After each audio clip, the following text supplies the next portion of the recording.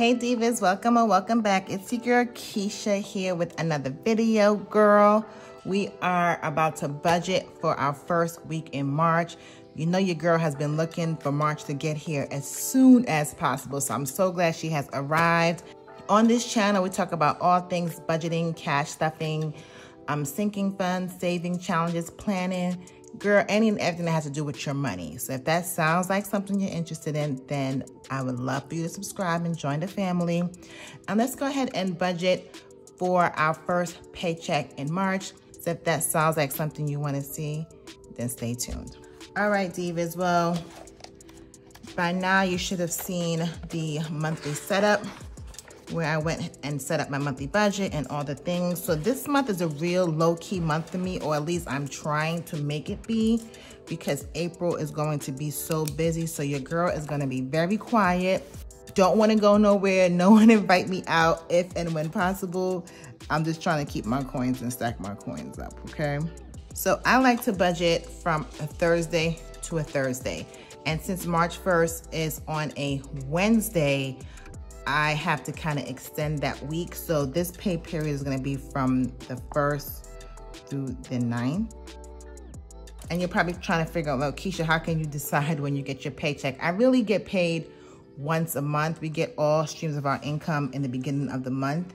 Everything else is just additional income. So I really have to budget the one time we get paid throughout the month, which is why I like to budget weekly. So I'm gonna go ahead and fill in what I am projected to get this month or for this pay period.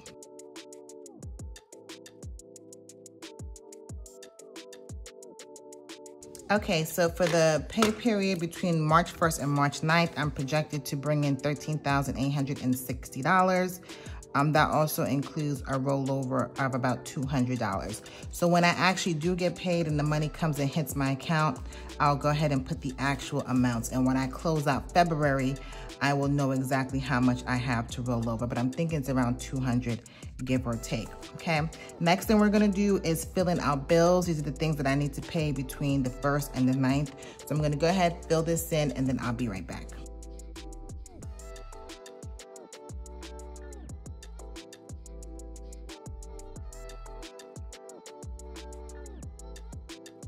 Okay, let's dive into it.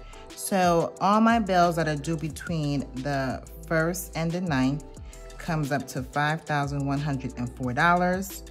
So left over, anything remaining, I'll take my total up here, 13860 minus $5,104 equals $8,756. So I'm gonna go ahead and bring that down here. So for my Roth, I'm going to just do, so my Roth, I'm gonna do $50. And my trade account, I'm gonna do $515. That takes me to 565. So 565 from 876, 8756, sorry. $8,191. So we're gonna bring that over here now. So these are the things that I have to pay. These are my bills, my living expenses. Over here are variable expenses. This means I can dictate, you know, really how much I wanna spend in these areas. So I'm gonna go ahead and fill it in and then I'll be right back.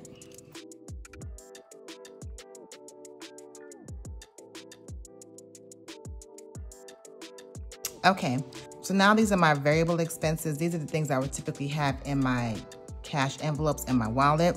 So we have allowance for me and my uh, family. Groceries this week, I'm doing 150. I'm really trying to have a grocery budget of not to exceed $550 this month. I really want to be uh, intentional intentional with my meal planning. I I usually am, but I'm gonna be more focused this month. I'm eating out $40, household $30, gas $60, kids $60 um, personal beauty, $100. Um, fun, my husband and I have like a date night. I could really take it out the date night envelope. So let me see how it goes and how much money I spend. Uh, coffee, 15 bucks, business, $60, and miscellaneous, $10. So that comes to $658. If I subtract that from my leftover of $8,191, That leaves me with $7,533. So we're gonna bring that down here into my sinking funds and cash envelopes. If you saw my monthly budget setup, guys, I'm really not being that aggressive this month with my sinking funds and um, cash envelopes because your girl, I gotta focus. I have my husband's birthday. He's turning 50, so it's a big birthday. I wanna make sure, you know, he has a good time celebrating that. And my twins' birthday, and they have spring break. So I have a, a lot of things coming up in the next 45 days, I would say. So I'm not gonna go too hard in my sinking funds um, this month and savings challenges. I'm gonna be really low key actually. So let me just fill it in and then I'll get right back.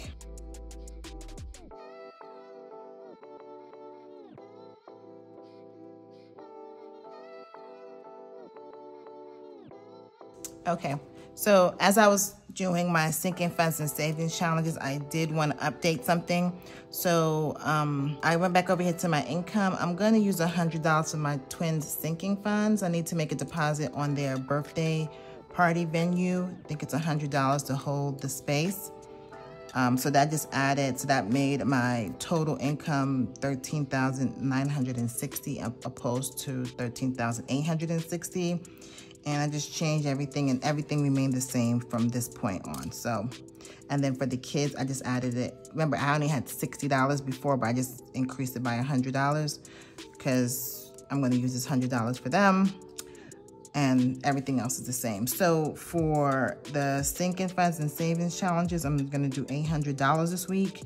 That brings my, so 800 minus the 750, 7,533 brings me down to 6,733. So I'm not focusing on paying any additional debt right now. I told you guys I just need to focus on the priorities I have going on. I totally believe you can be on your debt-free journey and still live your life. So I'm gonna be rolling over the remaining balance of 6,000, I mean $6,733. So that leaves me with a zero dollar budget. So this is a zero based budget. That means every dollar that I have coming in has a place to go. Everything has a job. Nothing is just sitting idle. Even my rollover that I'm not spending this month, it has a job. I'm rolling it over to the next week so it can cover that pay period and the bills in that section, okay? Next, we're gonna do the cash envelope breakdown. So I'm just going to just write down all my categories I need cash for, the denominations, and then I'll take that to the bank and get my dough.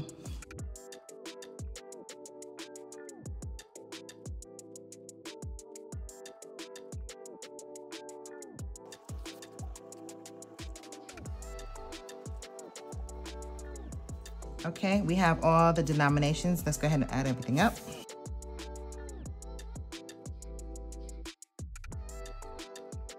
Okay, guys, so we will need um, $1,512 to stuff my envelopes and sinking funds and saving challenges. So that's a lot of cash stuffing. I'm not gonna stuff everything in one video, but I will go to the ATM or the teller and get all of this cash at one time. The last thing we need to do is fill out our bank teller slip and then we'll be good to go. Okay, so I have these slips. These are from the Budget Mom. You can get this on Etsy. You can pretty much grab these any any place um, that sells anything that's to do with cash envelopes. So I'm gonna take this slip to the teller. I'll come back and then we'll go ahead and we'll cash stuff for the first week of March. Okay, Divas, I am back. I went to the bank.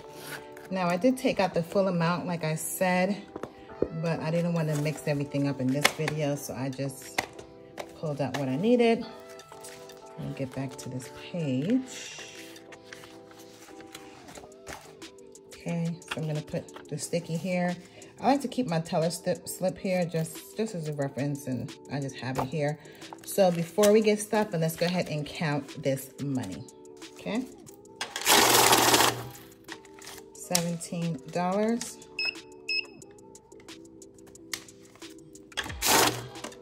$42. $142.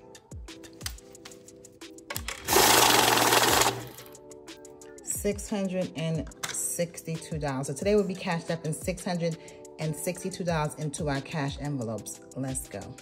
Okay, so I did decide to go back to my personal size um, agenda slash wallet just because I'm just tired of folding my money, girl. That's really what it's come down to. And that's the thing with cash envelopes. You can switch it up. You know, you don't have to be stuck with one particular system. And um, that makes stuffing it fun and having envelopes and all the things.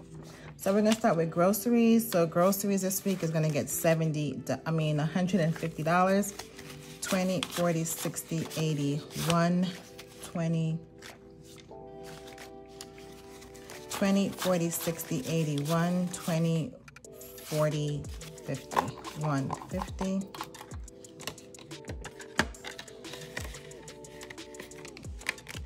Next, dining out is going to get $40.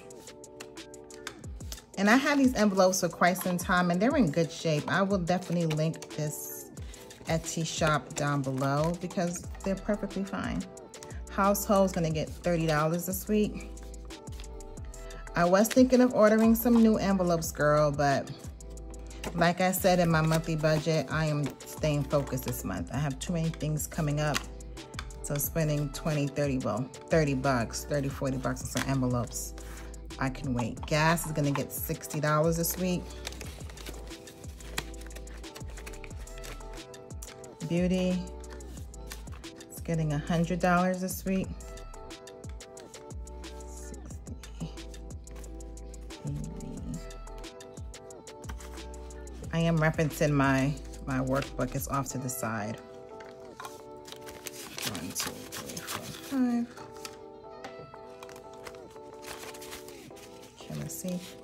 40 60 80 90 95 96 97 98 99 100 dollars.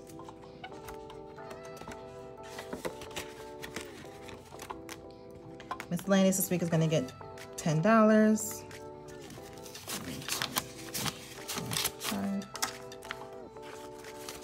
That's five six seven eight nine ten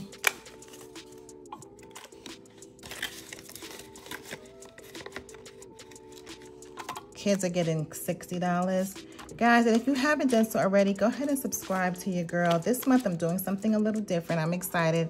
I'm going to be incorporating a vlog. And I'm just going to just bring you guys around with me and show you how I actually spend the money on my cash envelopes. I think that'll be fun.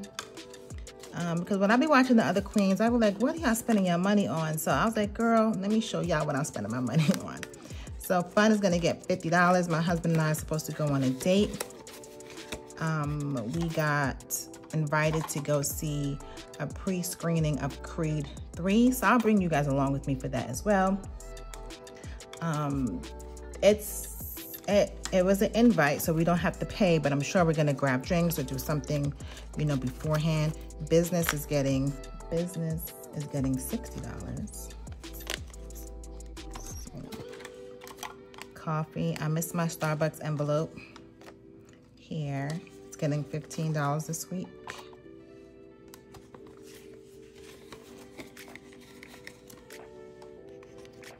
Okay, and what do I have left?